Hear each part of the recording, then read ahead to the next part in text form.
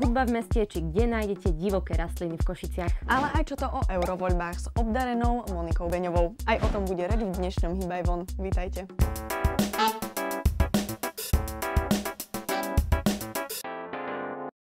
Ukážka jedlých divokých rastlín v Košiciach a okolí poteší určite nejedného voľnomyšlinkára.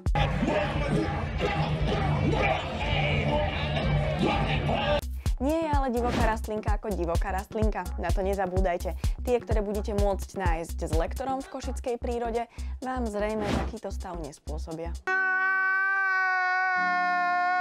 Ja viem, ja viem, je to smutné, no Bartek Krzovinsky vám pomôže na lúkach pohľadať také bylinky, ktoré môžete bezstarostne konzumovať, či už uvarené alebo surové, ale aj také, ktoré sú jedovaté.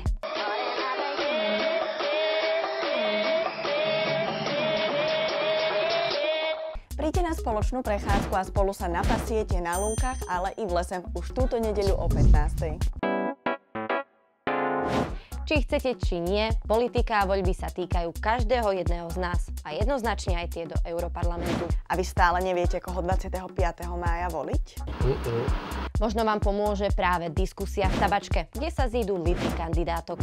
Monika Beňová, ktorá bude mať ako jediná dáma naozaj veľkú výhodu. Lebo som sa rozhodla, že budem teraz žiť iný život. A ďalej traja páni. Eugen Jurzica, Ivan Štefanec a Vladimír Bilčík. Odpovedia na otázky, ako môže europoslanec formovať európske rozhodnutia, v čom Slovensko v Európskej únii zlyháva a v čom sa mu naopak darí. Diskusia 13. mája v Tabačke sa začína o 18. Metropole Východ odštartovala pred pár dňami Košická hudobná jeseň. Aj tento rok Košice rozozvučí krásna muzika, ktorá sa bude rozliehať všade na vôkol v našich uliciach.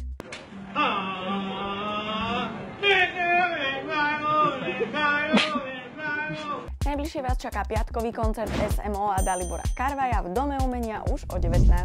Zážitok to bude nepochybne veľkolepý, ak teda muzikantom pôjde všetko tak, ako si nacvičili.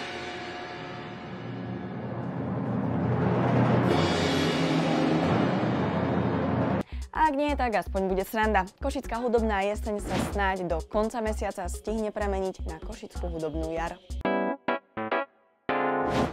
Majstrovstvá sveta v ľadovom hokeji sme síce nespomínali. No dúfam, že vám to je jasné, že máte fandiť. Tak sa majte.